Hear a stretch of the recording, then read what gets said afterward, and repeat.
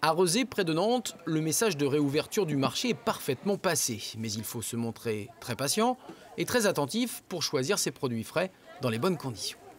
À l'intérieur du marché, on ne doit pas avoir plus de 100 personnes. Hein.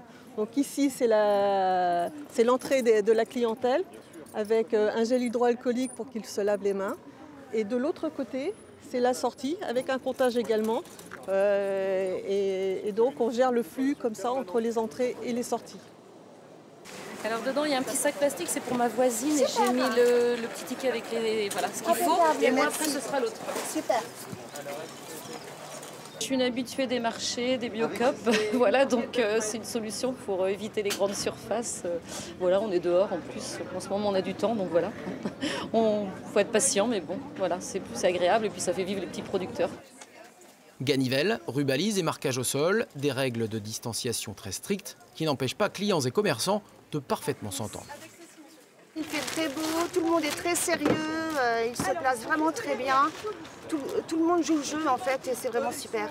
Ah, Pour éviter les contacts, les sacs de course sont déposés au pied des clients et avant de quitter le marché, ces derniers doivent repasser par la case gel hydroalcoolique.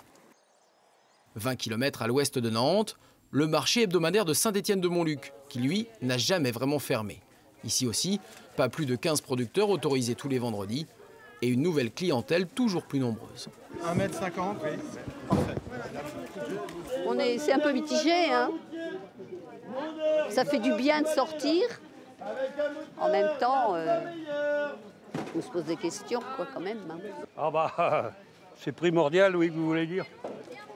C'était ça où on, on crevait. Hein. Économiquement, la réouverture des marchés en Loire-Atlantique va permettre de soulager financièrement ces petits producteurs, à l'image de ce primeur, heureux de voir son chiffre d'affaires multiplié par trois.